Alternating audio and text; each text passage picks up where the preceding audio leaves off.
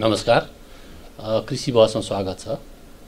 खास गरी आज हामी चाहिँ यो संहिता लागू भइसकेपछि पहिलो पटकको जुन स्थानीय सरकारको चुनाव थियो त्यो चुनाव सकिएर त्यो सरकारको आफ्नो कार्यकाल पुरा गरेर दोस्रो कार्यकालको लागि चाहिँ अहिले चुनावको मुखमा छौँ हामी। र यो पहिलो कार्यकालमा स्थानीय सरकारले कृषि क्षेत्रमा के कस्तो काम गर्यो र अब दोस्रो कार्यकालमा पहिलोको कुराहरूबाट के के सिकाइ सिकेर दोस्रोमा कसरी जानुपर्छ भन्ने बारेमा छलफल गर्न खोजिराखेका छौँ। खास गरी अहिले सरकारका सम्पूर्ण कामहरू चाहिँ स्थानीय सरकारमा पुगेका छन् र कृषि त अझै त्यहीँ छ किन भन्दाखेरि जमिन स्थानीय सरकारसँग छ स्थानीय सरकारमा छ हाम्रा किसानहरू स्थानीय सरकार अन्तर्गत छन्। त्यसले गर्दा त्यो कस्तो हुनुपर्छ र कसरी जानुपर्छ भन्ने बारेमा छलफल गर्नको लागि हामीसँग आज नवराज बस्नेतज्यू हुनुहुन्छ। उहाँ राष्ट्रिय कृषक समूह महासङ्घको अध्यक्ष हुनुहुन्छ। आउनुहोस् उहाँसँग यसबारेमा छलफल गरौँ। नमस्कार स्वागत छ धन्यवाद नमस्कार। अब मैले अलिकति भने पनि पहिलाका कुरा पनि केही भयो होला। यहाँहरू त लगातार किसानसँग काम गरिरहनु भएको छ। हामी पनि लगातार किसानसँग काम गरिरहेछौँ। कस्तो चाहिँ खास देखिएको छ अहिलेसम्म? अलिकति सिनारी बताउनु त। सबभन्दा पहिला त म यहाँको हाम्रो किसान टेलिभिजन मार्फत महासङ्घ अलिअलि धारणा राख्ने सन्दर्भमा यहाँले जुन अवसर दिनुभएको छ त्यसलाई म धन्यवाद दिन चाहन्छु।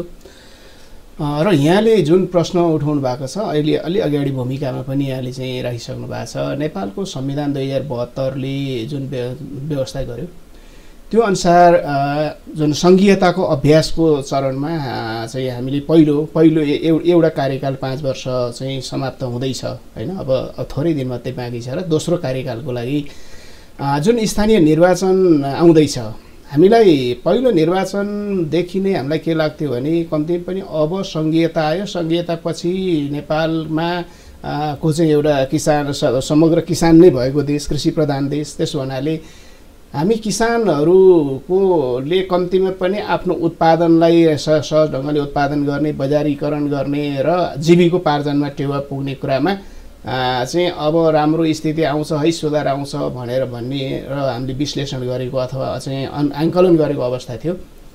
र दिन जति बित्दै गए जुन हामीले अपेक्षा गरेका थियौँ त्यो चिज हामीले पाउन सकेनौँ। र यहाँसम्म हामीले दुःख साथ भन्नुपर्छ। नेपालको सन्दर्भमा कृषिले जुन किसिमको चाहिँ फड्को मार्नु पर्थ्यो प्रगति हुनु पर्थ्यो त्यो नभइकन नेपालको कृषि सङ्घीयतापछि अलि बिथलियो भन्ने विश्लेषण हाम्रो छ। कसरी बिथलियो खास गरिकन केमा चाहिँ तपाईँहरूले ठ्याक्कै के होला नि बुना हजुर। हजुर एकदम सहीको विचार उ गर्नुभयो। हामीले चाहिँ सङ्घीयता चाहिँ कार्यान्वयन हुने सन्दर्भमा हामीले चाहिँ नेपाल सरकारलाई पटक पटक हामीले ध्यान आकर्षण गराएका थियौँ। अब नेपालको कृषि प्रधान देशको कृषिको संरचना चाहिँ यो सुल्टो डोको भएर भएन है उल्टो डोको हुनु पऱ्यो भनेर हामी।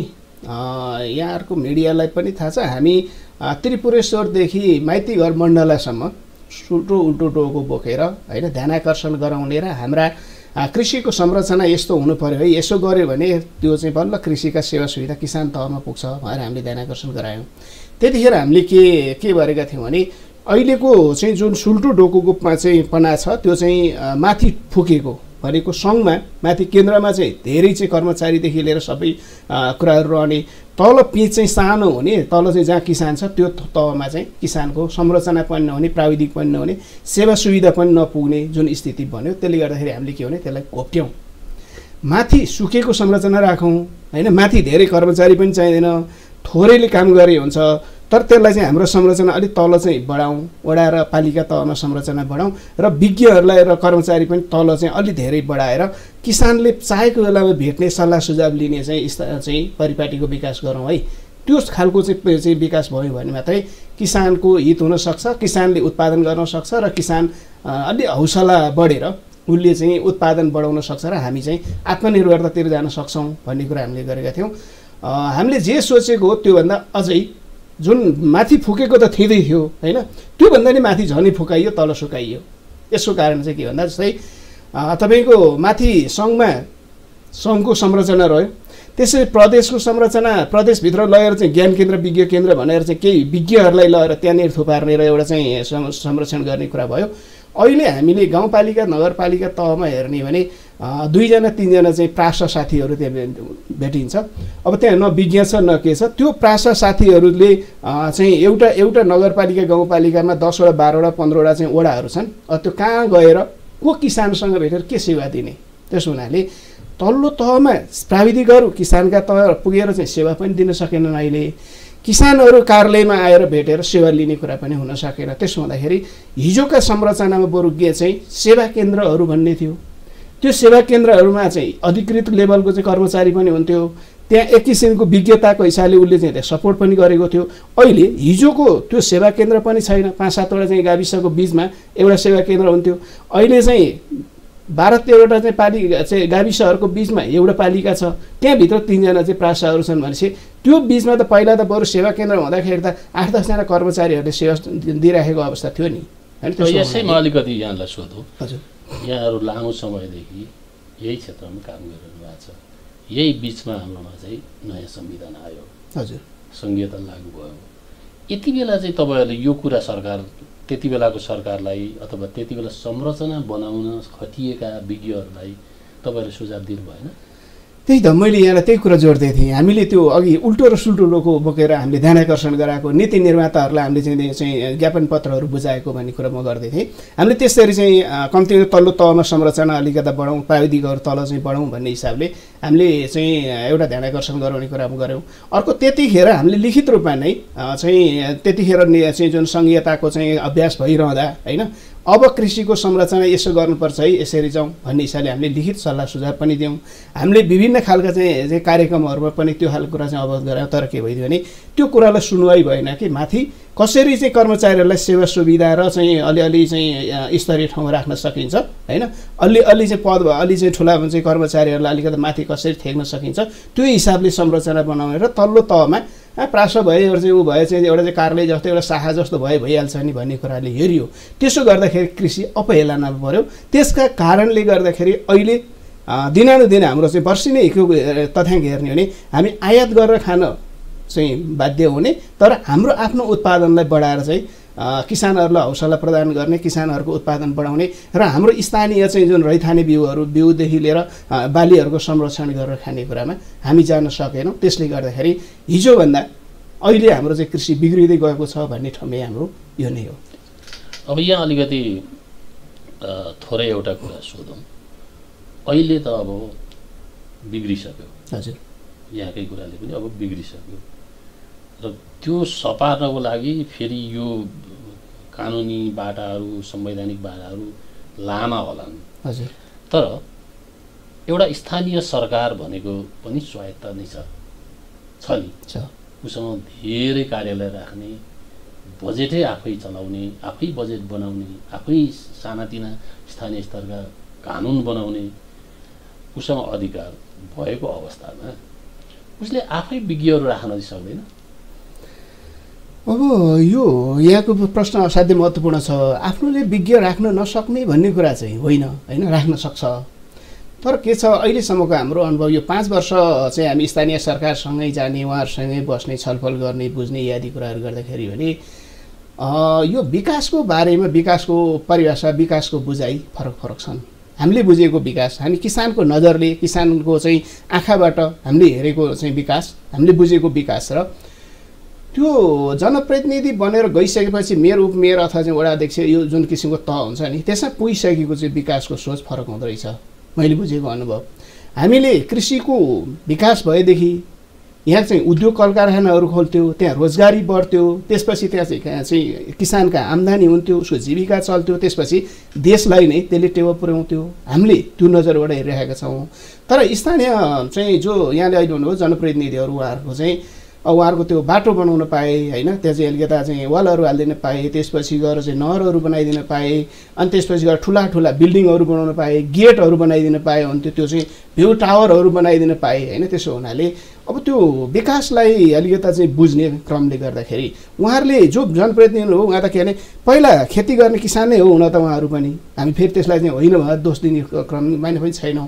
तर त्यो त्यहाँबाट उहाँले जनप्रतिनिधि भएर जितिसकेपछि त्यो सेवा सुविधा सबै अँगालिसकेपछि भनेको उहाँहरूको त्यो सोच अलिकता परिवर्तन भएको हुनाले त्यो कृषिको विकासतर्फ उहाँहरूको सोच भएन। त्यसो हुँदाखेरि कृषिलाई न त त्यहाँ ऐन नियमहरू बनाएर त्यसलाई चाहिँ व्यवस्थित गर्ने कुराहरू भयो न त्यहाँ चाहिँ बजेट विनियोजन गर्ने कुरा भयो। अनि त्यो कतैबाट अनिवार्य रूपमा चाहिँ कृषिमा छुट्याउनु पर्छ है बजेट भनिएको छ भने त्यसलाई रकमान्तर गर्ने अथवा के गर्नुपर्छ त्यसो गरेर चाहिँ विभिन्न खालका चाहिँ अरू अरू गतिविधिहरूमा ला लगाउने र विकास भनेर ठुल्ठुला कुराहरूलाई देखाउने होइन? बाटो पिच गरेर देखाउने ग्राभिल गरेर देखाउनु पर्ने अनि त्यसपछि त्यो के अरे तिन छ मिटरको बाटो थियो भने नौ मिटरको बाटो बनाउनु पर्ने भन्नेतर्फ चाहिँ बढी उहाँहरू चाहिँ केन्द्रित भएको हुनाले जुन किसिमको अपेक्षा चाहिँ लिएको थियो र अहिले स्थानीय सरकारको चाहिँ तहमा यहाँले नि भन्नुभयो अहिले स्वायत्त जस्तै कृषि भन्ने चाहिँ एका एकल अधिकारभित्र संविधानको चाहिँ अनुसूची आठमा एकल अधिकारको व्यवस्था छ। अनुसूची नौमा संयुक्त अधिकारको व्यवस्था छ। अनुसूची आठले के गर्छ भने कृषिलाई समग्र रूपमा चाहिँ थियो स्थानीय सरकारको चाहिँ अधिकार क्षेत्रभित्र राखिएको छ। एकल अधिकार क्षेत्र भने भित्र भने अनि संयुक्तमा चाहिँ अरू कुराहरू पर्छन्।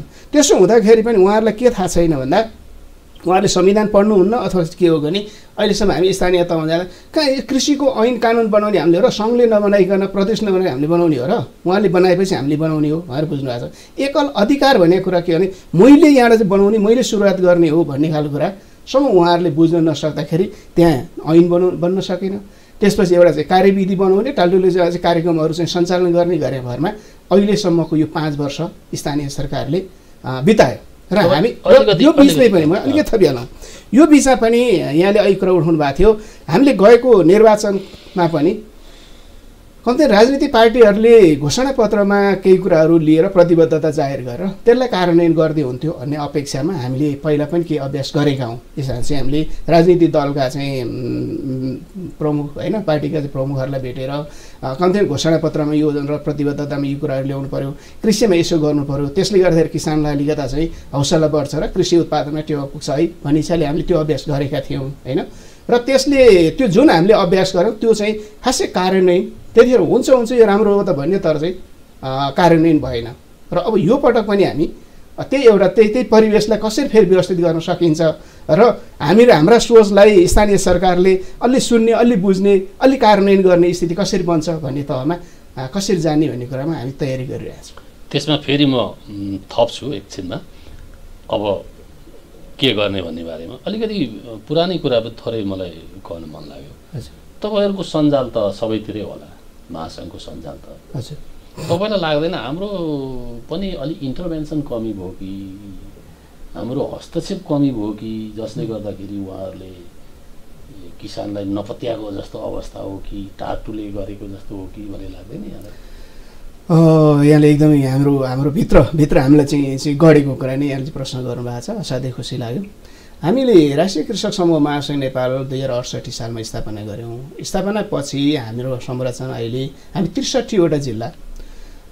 लगभग चाहिँ तिन सय पचास नगरपालिकाहरूमा हामी चाहिँ पुगेका छौँ। हाम्रो संरचना नै त्यहाँ छ र हामी स्थानीय सरकारसँग बसेर उहाँहरूलाई हामीले बारम्बार हामी चार पाँच वर्ष नै स्थानीय सरकारसँग बस्ने छलफल गर्ने हामीले बुझेको हामीले चाहिँ कृषिलाई बुझेर कम्ती यस्तो जानु पाएदेखि हुन्थ्यो भनेर लागेर हामीले नै केही चाहिँ नमुना विकास भनेर चाहिँ पनि गरेका छौँ कतिपय ठाउँहरूमा होइन? स्थानीय सरकारसँग नै मिलेर काम पनि गरेका छौँ। र त्यो नमुना अभ्यासलाई सबैतिर चाहिँ प्रयोग गर्न पाए हुन्थ्यो भनेर हामीले धेरै ठाउँमा अनुरोध गऱ्यौँ स्थानीय सरकारलाई गऱ्यौँ प्रदेश सरकारलाई गऱ्यौँ होइन? सङ्घीय सरकारलाई पनि हामीले त्यो कुरा गरिरहेका छौँ। तर वास्तवमा यहाँले उठाउनु भएको जस्तै कुरा चाहिँ के हो भने हाम्रा संरचना छ हामी त्यहाँ कुराकानी गर्छौँ। अब यो कुराकानी गर्दाखेरि यिनीहरू के निरञ्जन के भने जस्तो अलिक त्यसलाई चाहिँ श्रेयस लिन लिने होइन?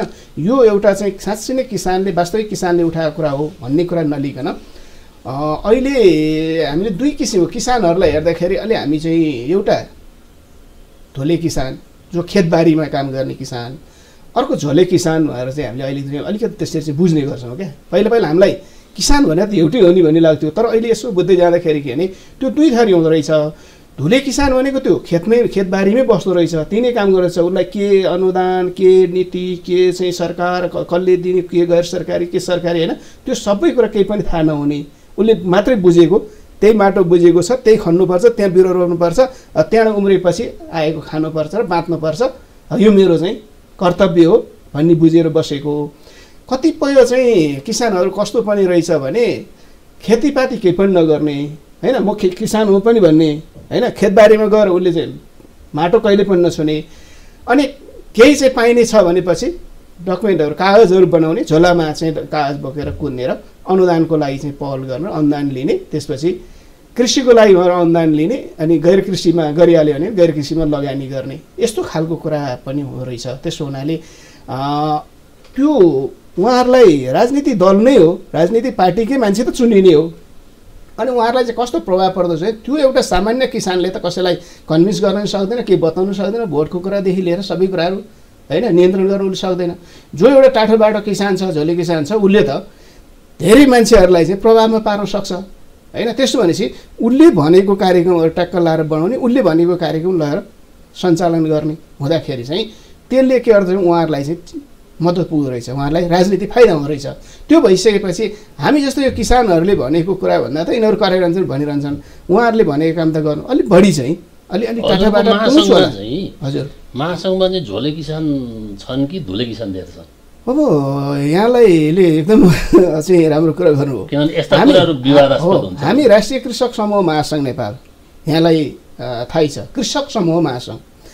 कृषक समूह भनेको किसान नभइकन कृषक समूहमा आउँदैन समूह नआइकन महासङ्घमा आउँदैन। त्यसो भएको हुनाले हाम्रो महासङ्घमा मैले म अध्यक्ष हुनको लागि पनि म यदि किसान छैन म एउटा कृषक समूह कृषि सहकारीमा चाहिँ छैन भने म राष्ट्रिय कार्य समिति अध्यक्ष भएर मैले हिँड्न पाउँदिनँ। त्यसो हुनाले हाम्रो राष्ट्रिय कृषक समूह महासङ्घमा अहिले पनि हामीसँग चाहिँ चार पाँच हजार समूहहरू हामी कहाँ आबद्ध छन्। होइन? र त्यसपछि मैले अहिले हाम्रो संरचनाको कुरा नि हाम्रो राष्ट्रिय कार्य समिति प्रदेशमा सातैवटा प्रदेश कार्य समिति त्रिसठीवटा जिल्लामा जिल्ला कार्य समिति तिन सय पचास प्लसमा गाउँपालिका नगरपालिका कार्य समितिहरू छन् र वडा तहमा पनि हाम्रो कार्य समिति वडा कार्य समिति हुन्छ। पाँचवटा कार्यकारी तह हुँदाखेरि हाम्रो कुनै पनि तहमा भएको कुनै पनि एउटा व्यक्ति हाम्रो महासङ्घको संरचनामा अथवा सदस्य भएको कुनै व्यक्ति किसान छैन भने ऊ महासङ्घको कुनै पनि जिम्मेवारीमा रहन पाउँदैन विधानकै व्यवस्था त्यही नै हो। त्यस हुनाले मैले यहाँलाई ढुक्क के गर्न चाहन्छु भने हामी एकदम धुले किसान हो। हाम्रो सङ्गठन धुले किसानहरू छन्।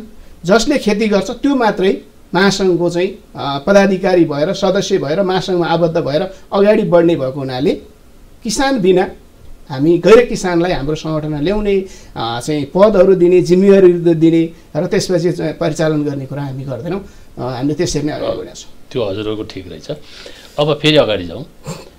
अब दुई साता तिन साता पछाडि हुने चुनावमा हजुर। खास गरी अहिले त स्थानीय सरकारको चुनाव हो। जहाँ यहाँका धुले किसानै त्यहाँ छन्। हजुर।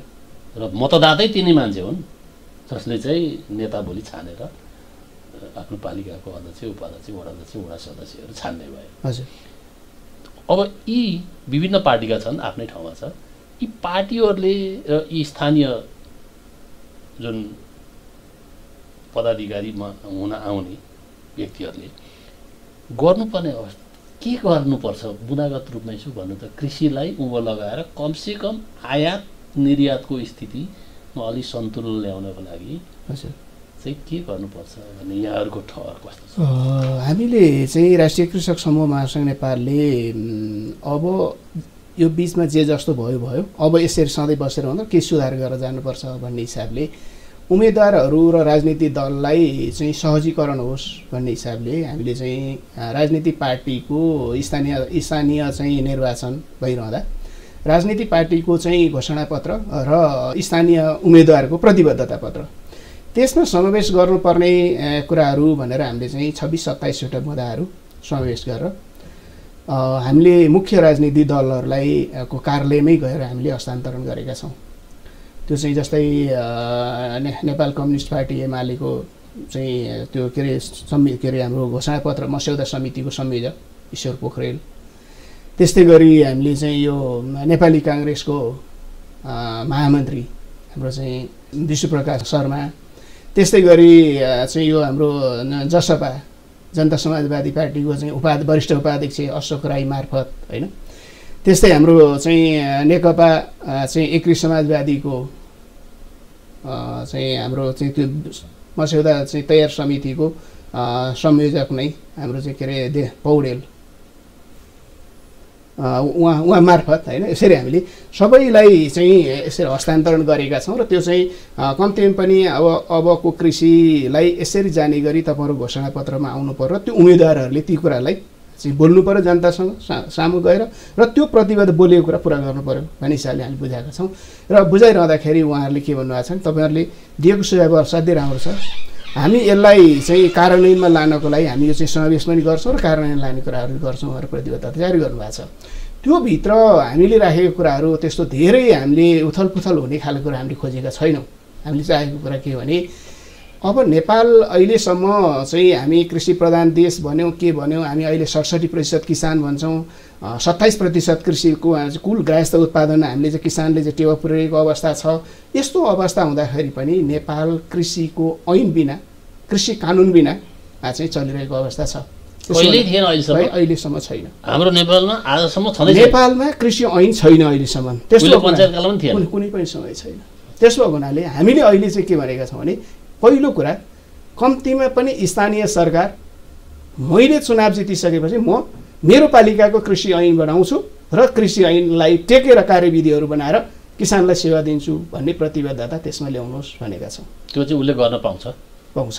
अघि तपाईँले स्थानीय सरकारले स्थानीय तहमा त्यो कृषिको चाहिँ के भने एकल अधिकारको कुरा भएको हुनाले एकल अधिकारभित्र भएको विषय भएको हुनाले स्थानीय सरकारले बनाउन सक्छ।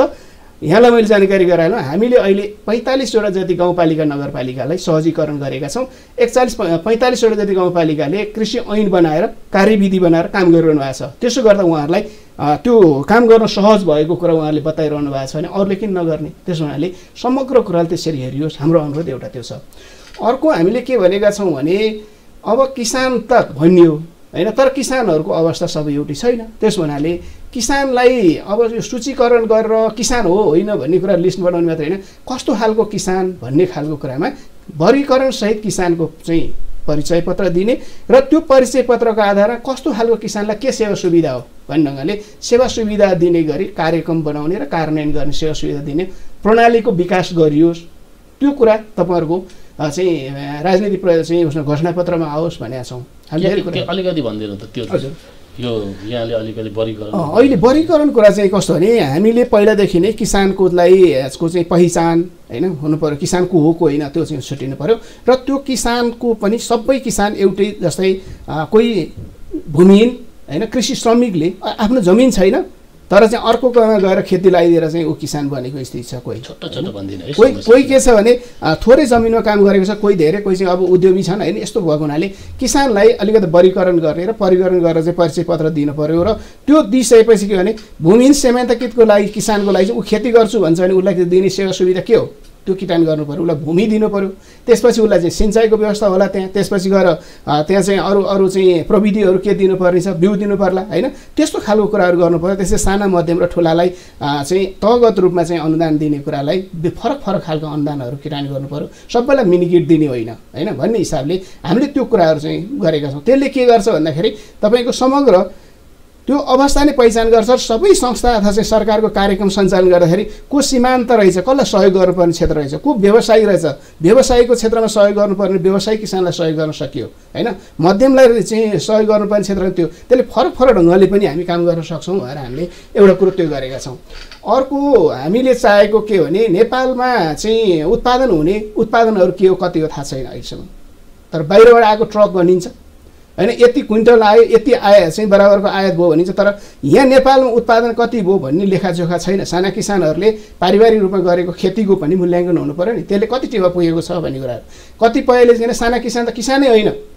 व्यवसायिक किसानको किसान भन्ने कुरा पनि गरिन्छ। त्यस हुनाले नेपालको सन्दर्भमा अस्सी प्रतिशत उत्पादन साना किसानले पारिवारिक रूपमा गरेको खे चाहिँ उत्पादन अस्सी प्रतिशत छ। होइन त्यसो हुनाले त्यसलाई हामीले चाहिँ त्यो लेखाजोखा हुनु पऱ्यो र किसानलाई उत्पादनमा लगाउनु पऱ्यो त के उत्पादन कति गर्ने हो त्यो चिजमा किसानलाई दिनु पऱ्यो र किसानले गरेको उत्पादन चाहिँ बिक्री गर्न बजारीकरण गर्ने कुरामा राज्यले सहजीकरण गर्नु पऱ्यो समर्थन मूल्य तोक दिनु पऱ्यो समर्थन मूल्यअनुसार उसले बेच्न सक्छ बिक्री हुन्छ। भएन भने त्यो तोकिएको समर्थन मूल्यको चाहिँ उसको बिक्री भएन खेर जाने भने उसलाई डुबाउनु भएन नि त्यो चाहिँ सरकारले खरिद गरिदिनु पऱ्यो र कुन ठाउँमा पठाउने हो पठाउनु पऱ्यो त्यसले गर्दाखेरि किसानलाई उत्पादनको क्षेत्रमा लगाउनु र बजारीकरणको जिम्मा चाहिँ सरकारले लिने गरी अगाडि बढ्नु पऱ्यो भनेका छौँ।